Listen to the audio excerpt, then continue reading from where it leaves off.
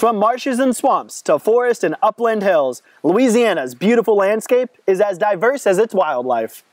One species inhabiting our state's hardwood forest is the black bear. We have three black bears here at the Alexandria Zoo. The two young boys are American black bears. Emily is a Louisiana black bear. She is an American black bear species, but she's a Louisiana black bear subspecies, which means she was born in this region, being Louisiana, Mississippi, East Texas. The Louisiana black bear is one of 16 subspecies of American black bears in North America.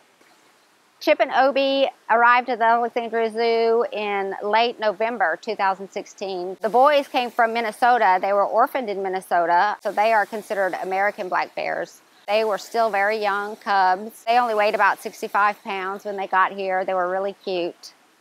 Estimating black bear populations is an essential component of preserving the species. But with such an expansive range, how are wild populations tracked and calculated?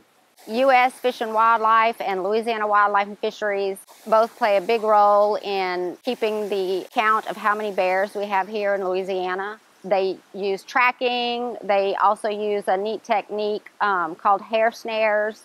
By analyzing DNA from hair samples, individual bears can be identified and regional population estimates can be generated. An advantage of the hair snares is that bears don't have to be captured to get samples. In 1992, the Louisiana black bear was listed as threatened within its historic range under the Endangered Species Act. To help increase the bear population in Louisiana, several things had to happen, including replanting the hardwood forests that they live in. Through voluntary landowner incentive-based habitat restoration programs and environmental regulations, black bear populations began to recover.